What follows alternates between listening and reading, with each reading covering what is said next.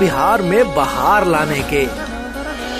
और सौदे बिहार में भविष्य में भ्रष्टाचार बढ़ाने के। जी हाँ ये सिर्फ़ आरोप नहीं, ये कैमरे में कैद हुआ सच है।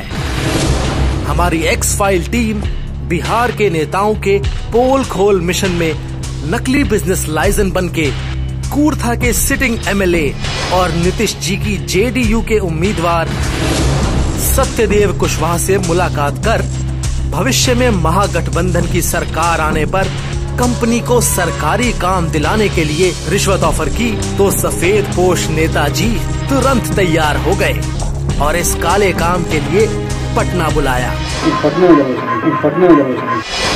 पटना के एमएलए क्वार्टर्स में जेडीयू के उम्मीदवार सत्यदेव कुशवाहा ने बेखौफ होकर सरकारी काम के लिए कंपनी को फेवर करने के लिए दो लाख रुपए एडवांस रिश्वत लेने में कोई देर न की।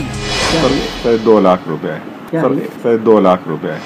ये देखिए बिहार में बहार लाने वालों का काला सच। अरे ये तो सिर्फ़ एडवांस है। नेताजी को तो और ज़्यादा पैसे चाहिए। सुनिए क्या कह रहे हैं नीतीश जी के ये खास? और चाहिए ना मेरे ये और चाहिए ना मेरे मिला का आप लोगों को कितना चाहिए पाँच चाहिए आप लोगों को कितना चाहिए पाँच चाहिए नीतीश जी देखा आपने? आपके अपने खास का ये काला सच। पाँच लाख में बिहार का सौदा। पाँच लाख में बिहार की जनता के विश्वास का सौदा। पाँच लाख में बिहार के भविष्य का सौदा। क्या आप इन्हीं साथियों के भरोसे सपना दिखा रहे हैं बिहार में बहार लाने का? आप लोगों को कितना चाहिए पाँच चाहिए। आप लोगों को कितना चाहिए पाँच चाहिए।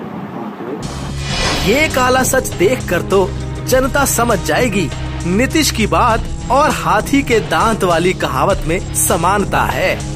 हाथी के दांत खाने के और दिखाने के और। नीतीश की बात कहने की और करने की और।